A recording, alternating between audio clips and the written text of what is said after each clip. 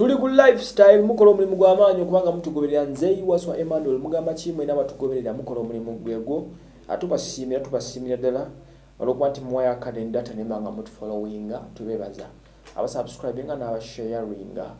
Yes um, katutandikireko kwani ku zari hassan. Yes zari hassan ono asobola okuba nga avaayo naye n'ateeka eddoboozi lye ku lyabannayuganda abalabika nti munnange bali frustrated bakoye emmere egenda mu maaso uh, si basanyufu. Olwa lockdown netwesibyeko era etulemeddemu okusinziira ku zari hassan yageze ku mukutu gwa facebook n'asaba gavumenti etawuluze oba etooloze ku lockdown eno bagiizingeko ebintu byongere okuba nga bikendeera. Mu byasabye bino wammanga asabye gavumenti ekkiriza ababodaboda baddemu bakole batikke ku bantu basooka nga bafuna kasente.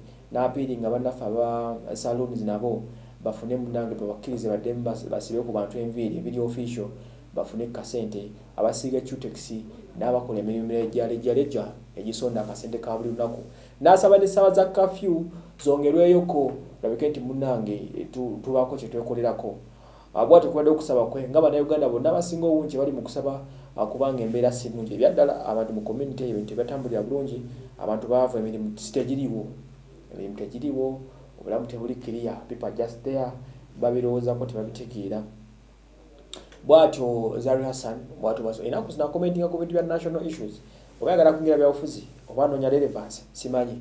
Naye nga bwatyo bwali naye nga sagala bwerabire bano bakyali ku muggalo ngaabasaluuni olwokuba pulezidenti yagamba nti since balina body to body contact tosobola kusiba trist tosobola kusiba kapuntail toyinza kukola muntu straight oba kumuteekamu nacho hair nga tomukutteeko akyagamba nti kikyali so sensitive nti kisobola okutambuza mangu obulwadde n'okusinga ekirala oyo omu eyo ensonga abo n'abakoonako.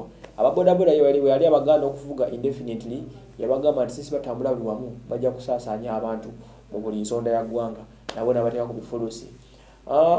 Bo kafyu eyo yagitugambirawo nti obudde bwa kafyu lwaki weeri akakodyusi kanene? Kafyu akodya kaliwo kustopinga abantu kutambula kiro kuba bakizuula nti abantu ekiro bakuŋŋaana nnyo n'okusinga emisana nenebuuza ekira nti babeera bakolaki owekitegeera second natugala ntugamba nti its all about security issues kubanga singa kafyu uh, evaawo obubbi bujja kweyongera olw'ensonga nti abantu uh, tebali safe kimala emirimu tegiriwo ebintu bingi ebiri mu ggwanga bitagenda bulungi era swayo era bikyaliwo. So katulowooze nti kyeba president museveni abirowoozaako ebinabina era balaba engeri gye banatowolozamu abantu abakedi bonna bo balina osooka basupervising balabe what they can do basobola okukola emirimu nga social distancing weri nga n'obuyonjo bwe buli. Abamoluzi babagula abakedi bakyali baggale